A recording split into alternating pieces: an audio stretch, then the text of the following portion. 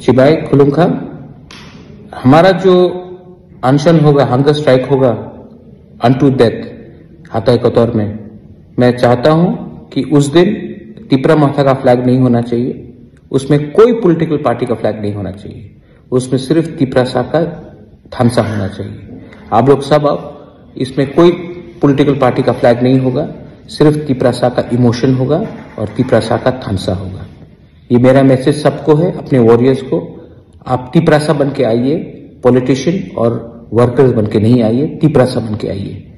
ये फाइट तिपरासा का है, एक पार्टी का नहीं है। और जब तक हमको जस्टिस नहीं मिलता है, मैं वहाँ में हंगर स्ट्राइक करूँगा, कुछ हो या ना हो। वेल आई नो हम बाय